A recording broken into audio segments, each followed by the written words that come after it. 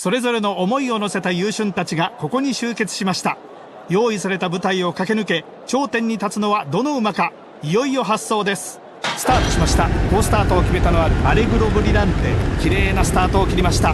ダッシュよくアレグロブリランテ行きました。続いて前へ行くのはシックスヘンス。さらにはスティンガーグラス。6番ペレフリーニその後ろ先手を取ったのはアレグロブリランテ。少し離れてルカランフィースと続いています。この辺りで各馬第1コーナーをカーブして第2コーナーに向かいました。その外からロムラール。その隣にボスモブッドレア。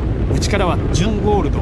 並んで3番ウォーターリヒフト最高峰にチャンネルトンネル各馬がターフの上を駆け抜けていきますさて先頭に戻りましょう7番アレグロブリランテ依然として先頭リードは1馬身から2馬身スティンガーグラスそれに続きますさあ先頭はまだ7番アレグロブリランテ2番手はスティンガーグラスシックスヘンス3番手この辺りで後続がぐんぐん追い上げていきますさあ先頭はアレグロブリランテその隣からはスティンガーグラスヘンスその後ろ。さあいよいよ直線の攻防。アレグロブリランテ先頭。